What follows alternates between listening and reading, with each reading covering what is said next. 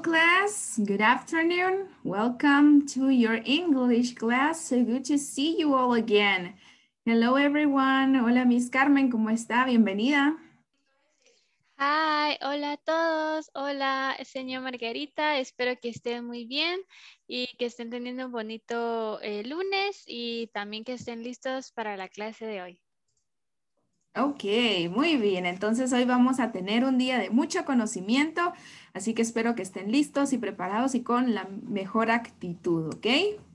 Entonces vamos a recordar un poco lo que vimos la semana pasada, que hablamos sobre las preposiciones, ¿verdad? Que vimos las tres más importantes en el idioma inglés. Vamos a hacer un pequeño refresh de estas tres eh, preposiciones y luego vamos a practicar, ¿ok? Entonces empecemos con eso. You tell me, Miss Carmen, when you can see it, ¿ok? Ok.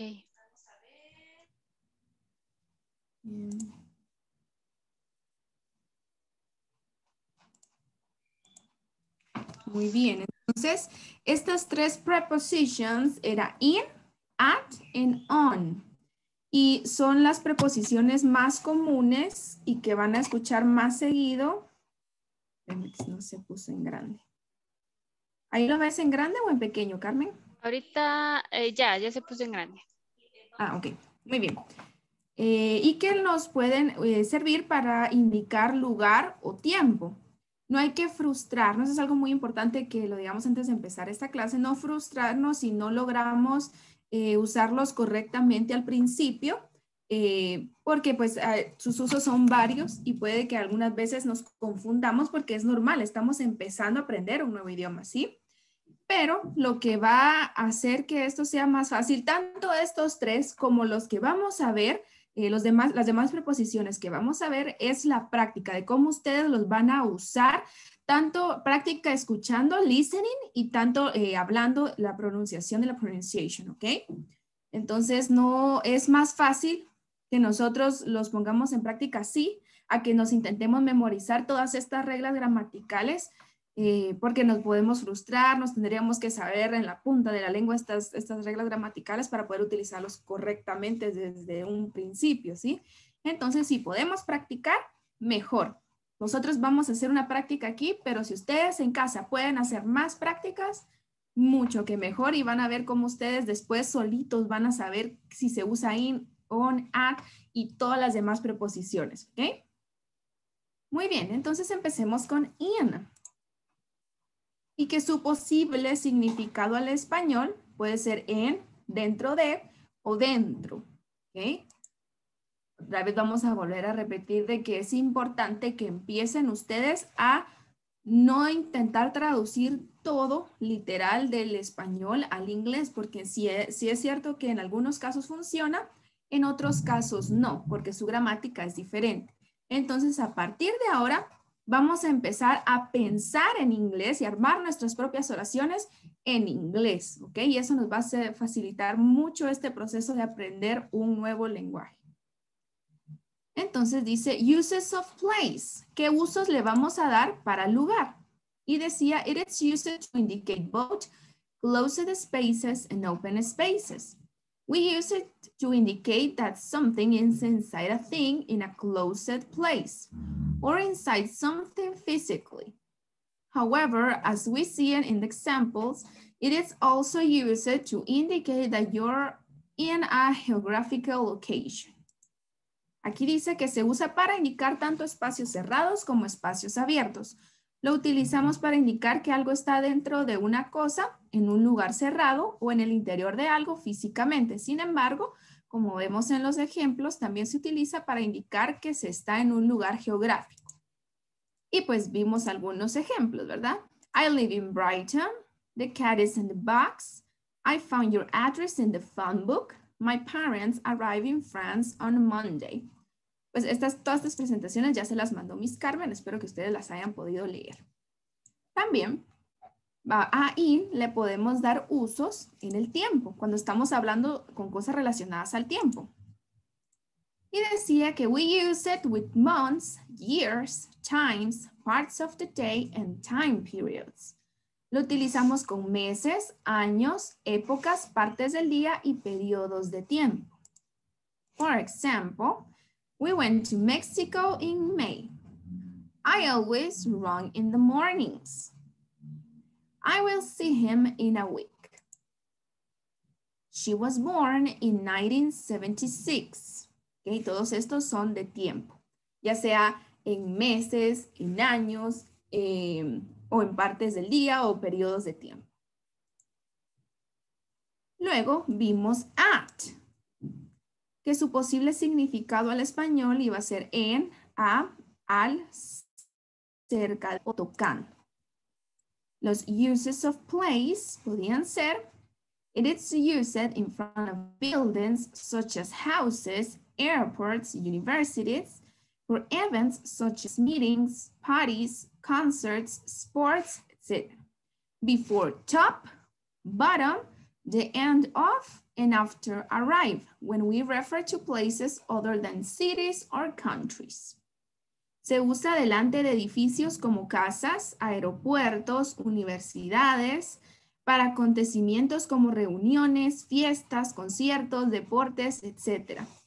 Antes de top, que significa parte superior, bottom significa parte inferior, the end of significa al final de, y detrás de arrive, que significa llegar. Cuando nos referimos a lugares que no sean ciudades o países. For example, he is at home. I always visit my sister at work. We eat at the table. She will see him at the theater.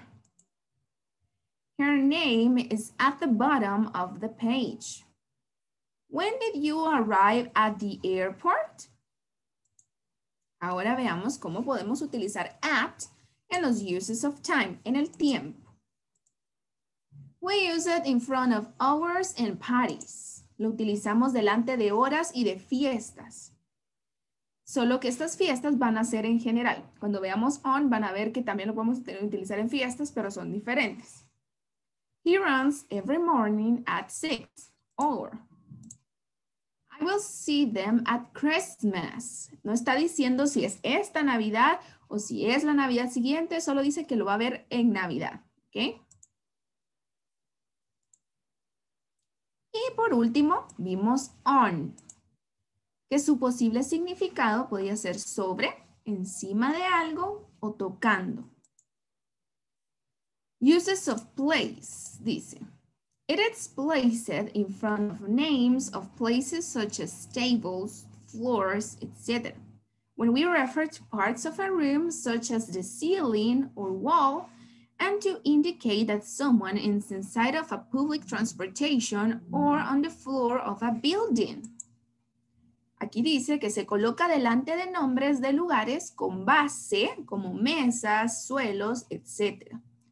Cuando nos referimos a partes de una habitación, como el techo o la pared, y para indicar que alguien está dentro de un transporte público o en una planta o nivel de un edificio. For example, the pen is on the table. They have a photograph of Paris on the wall. I am on the bus. Her apartment is on the second floor. Y luego teníamos usos de tiempo, uses of time. And we use it with days of the week, dates, and parties. Lo utilizamos con días de la semana, fechas y fiestas. También utilizamos at con fiestas. Vamos a ver qué diferente tienen estas fiestas. They went to Mexico on the 1st of May. This is a date. He runs on Mondays and Fridays. Mondays and, Mondays and Fridays are, day, are days of the week. I will see Luis on his birthday. Dice en su cumpleaños. Esta es una, es una fiesta. Entonces, estas fiestas son específicas. Estamos especificando qué fiesta va a ser eh, de la que estamos hablando a diferencia de las otras que pueden ser en general. Si me quiero referir a, Halloween, eh, pues puedo utilizar at, at Halloween. Pero si quiero decir que va a ser en este Halloween, on this Halloween, entonces ya estamos especificando, ¿verdad? Y esa es la diferencia de las fiestas de at y on. Y por último vimos esto, ¿verdad? Que era como un pequeño resumen de cuando utilizamos at, at night, at noon, at midnight, at seven o'clock, at home, at the store, at 25 Orange Street, at the corner. On, on my birthday, on Friday, on May 1st. Si se dan cuenta aquí dice cuál cumpleaños. My birthday.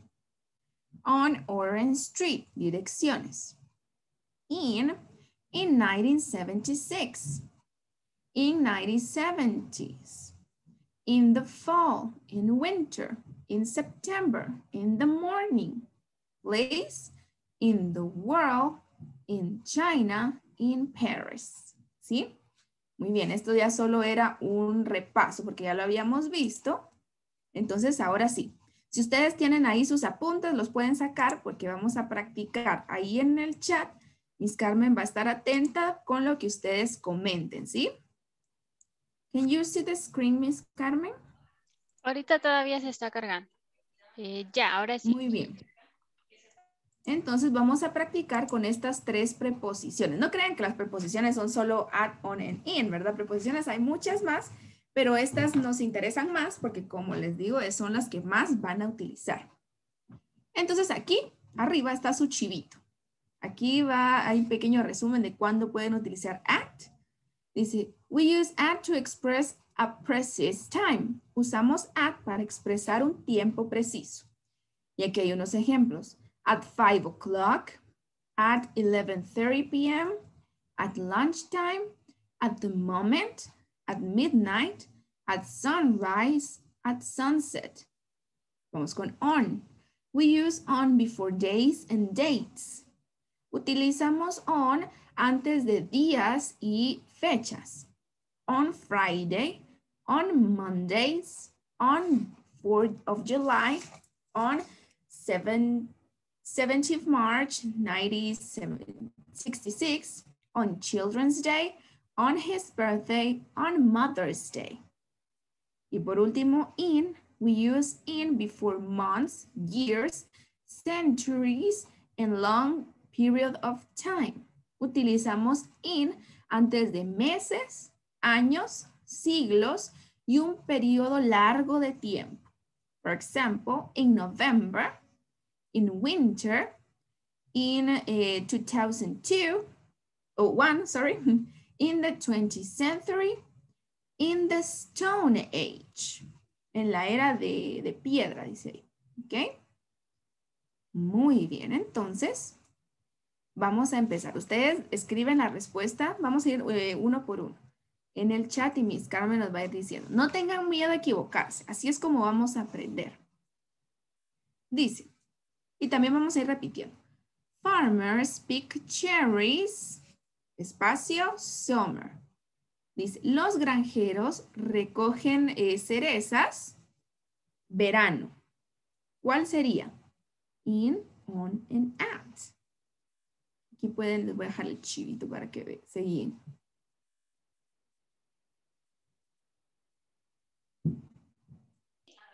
Veamos eh, las respuestas que están poniendo aquí en el chat. Mm, la mayoría eh, están poniendo que es on. Que es on. Sí. Ok. Igual siempre, Miss Carmen, dime quién lo puso para darle así su... Para que se lo que escribió. Eh, la primera en ponerlo fueron Catherine y Alejandro. Ok, muy bien, entonces eh, la respuesta no es on, sino que es in, ¿ok? Farmers pick cherries in summer. ¿Por qué? Porque summer lo utilizamos para un periodo largo de tiempo. Aquí tenemos un ejemplo. In winter es invierno, que es lo mismo, eh, summer es verano, o sea, son como estaciones. Entonces, aquí en la primera va a ser in, ¿ok? Don't worry, let's continue. Ahora dice, Molly's birthday is Tuesday, so we have only two days to prepare a su surprise party. El cumpleaños de Molly es el, el martes, así que tenemos solo dos días para preparar una fiesta sorpresa. Entonces, Tuesday es un día de la semana. ¿Qué preposición va antes de los días de la semana? Veamos aquí. Em, la mayoría dice que es on y la primera en poner on fue Shadina. Very well, Shadina. Antes de los días de la semana usamos on. Entonces queda Molly's birthday is on Tuesday. So we have only two days to prepare a surprise party. Vamos a repetirla. La primera no repetimos, me olvidó. Molly's birthday is on Tuesday, so we have only two days to prepare a surprise party. Don't forget to repeat with Miss Carmen. ¿sí? No olviden repetir con Miss Carmen para practicar su pronunciación. Repitamos la primera que se nos pasó. Farmers pick cherries in summer. Farmers pick cherries in summer. Muy bien, ya llevamos two. Let's go with another one. Space. Father's Day, I will give a nice present to my father. En el Día del Padre voy a darle un bonito regalo a mi papá. Father's Day, it's a party. Que, eh, ¿Cuál sería entonces la preposición que utilizamos? Veamos, aquí hay un debate entre on y at. ok. Entonces, vamos a recordar un poco que con las fiestas que no son específicas, porque no dice si este Día del Padre o el siguiente Día del Padre, entonces vamos a utilizar at, ¿ok? At Father's Day, I will give a nice present to my father. Okay, let's repeat this. At Father's Day, I will give a nice present to my father. Ok, excellent si pusieron at. Si no, no importa. Vamos a aprender entonces qué es at con las fiestas que son en general. Vamos con otro. Dice, the football match is 8 o'clock. Shall we watch it together? El partido de fútbol es a las 8 del, eh, a las 8 en punto. ¿Lo deberíamos ver juntos? Entonces, 8 o'clock es una eh, hora. ¿Qué preposición utilizamos para las horas? Aquí la respuesta que están poniendo es at y la primera en responderlo fue, veamos, eh, creo que fue Susi, Santos, eh, Sarita, Damián, respondieron at. Very well, Susi, Sarita, es at, ¿sí? Porque antes de las horas va at. Let's repeat. The football match is at 8 o'clock. Shall we watch it together? The football match is at 8 o'clock. Shall we watch it together? Very well. Let's continue. And it says, I get up early, space, the morning, and have a big breakfast. Yo me levanté eh, temprano en la mañana y eh, tuve un gran desayuno. The morning. Morning es un tiempo del día, la mañana. ¿Qué preposición va antes de morning? Veamos, eh, Damián, Ana Virginia, Shadina, las, fueron los primeros en responder y colocaron in. In, ok.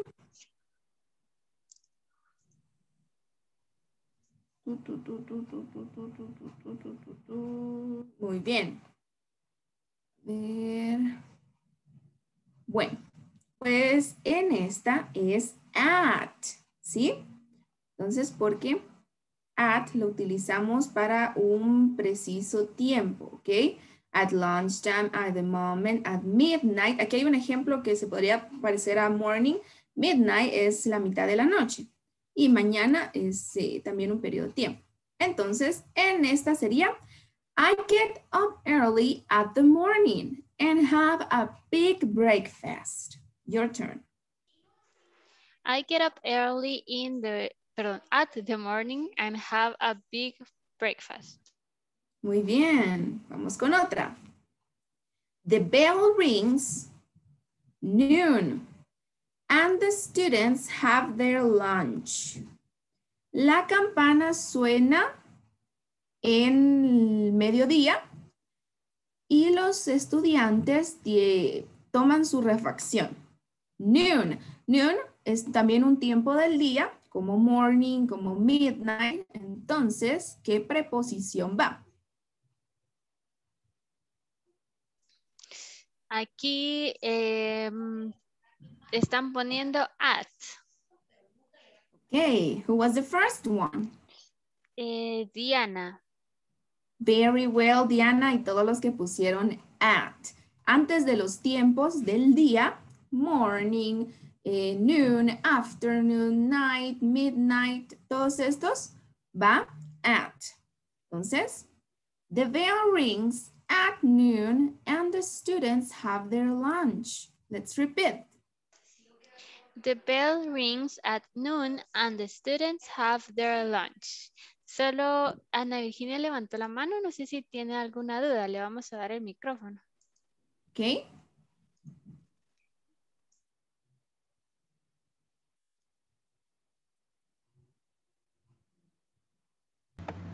Sí, yo tengo una duda, Miss, porque en el triangulito que nos enseñó, en la parte de abajo dice in the morning. Ah, ok. Y usted ahí dice que es at.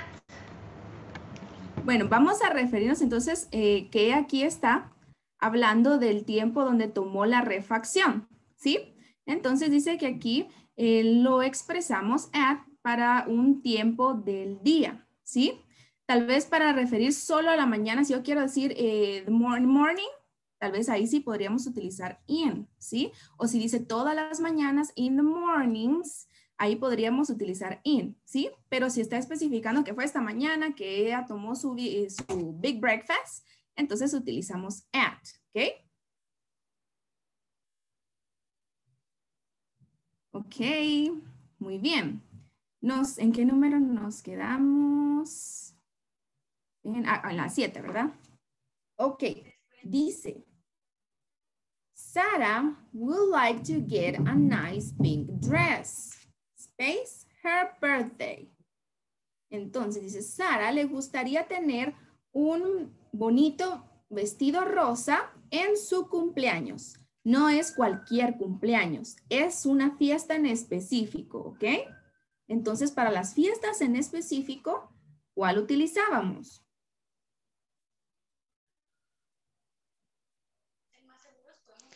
Veamos. Mm, aquí algunos dicen que es, ah, creo que on. at también están poniendo. On. Karen dice que es on. Mm, Pablo dice que es at. Ok. Entonces, para para, para on y para at se puede utilizar fiestas. Para at son fiestas en general, cuando uno especifica si es de este año, si es del otro año, si fue del año pasado.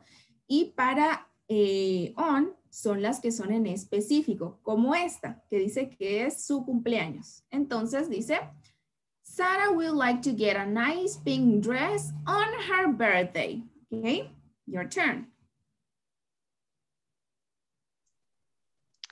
Sarah would like to get a nice pink dress on her birthday. Very well. Bien, let's continue. My father sometimes comes home late, space, night. Mi padre a veces viene a casa tarde por las noches. Night es otro tiempo del día, como morning, noon, afternoon. En los tiempos del día, ¿cuál utilizamos? Veamos, Kevin dice que es at. Lesbia también. Very well, Kevin and Leslie. Es at. Entonces quedaría, my father sometimes comes home late at night. My father sometimes comes home late at night. Muy bien. Sigamos entonces practicando.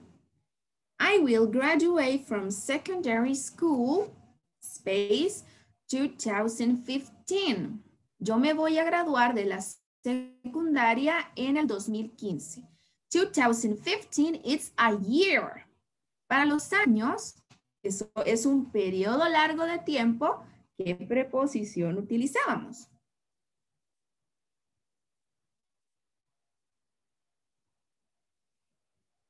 Ok, veamos aquí. Vamos a ver las respuestas. Eh, Shadina, Sarita, Yvonne dicen que es in. Very well, girls. Muy bien. Es in, porque es un periodo largo de tiempo. I will graduate from secondary school in 2015. I will graduate from secondary school in 2015. Muy bien. Vamos con la última de esta práctica. Turkish people celebrate Children's Day. Space the April 23. La gente de Turquía celebra el Día del Niño en abril 23. April 23 es una fecha. Entonces las fechas, ¿con cuál, eh, ¿con cuál preposición se oponen?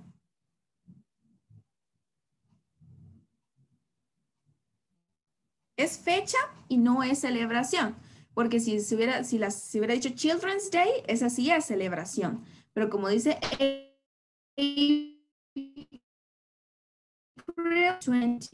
a esa fecha y no a Children's Day.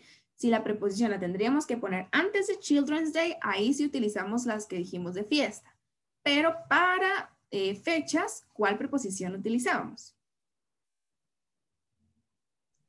Ok, aquí algunos dicen que es on y otros dicen que es in. Ok, entonces para los que dijeron on, están en lo correcto porque dice we use it on before days and dates.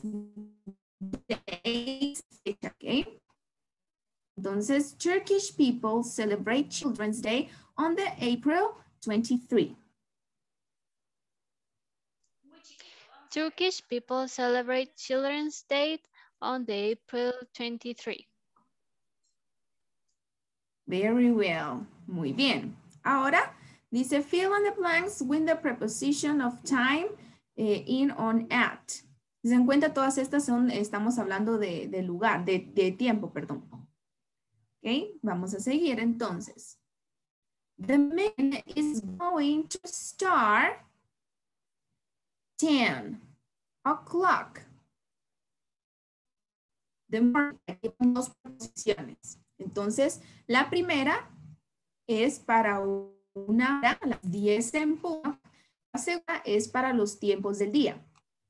Para las horas, ¿cuál utilizamos? Y para los tiempos del día, ¿cuál utilizamos? Veamos, aquí dicen que la primera respuesta es at, at 10 o'clock.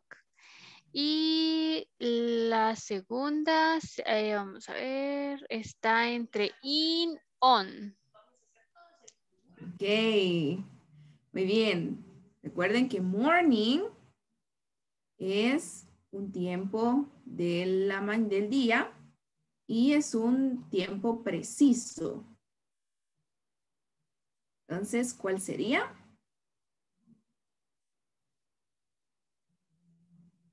Ya no pusieron más, más eh, respuestas. Em, at. Eh, Diana dice que es at. Muy bien. Entonces, en este caso, las dos van a quedar con at. Meeting is going to start at 10 o'clock at the morning. Okay? Muy bien, let's repeat this. The meeting is going to start at 10 o'clock at the morning. Muy bien. Y vamos a quedarnos ahí porque nos acaba el tiempo.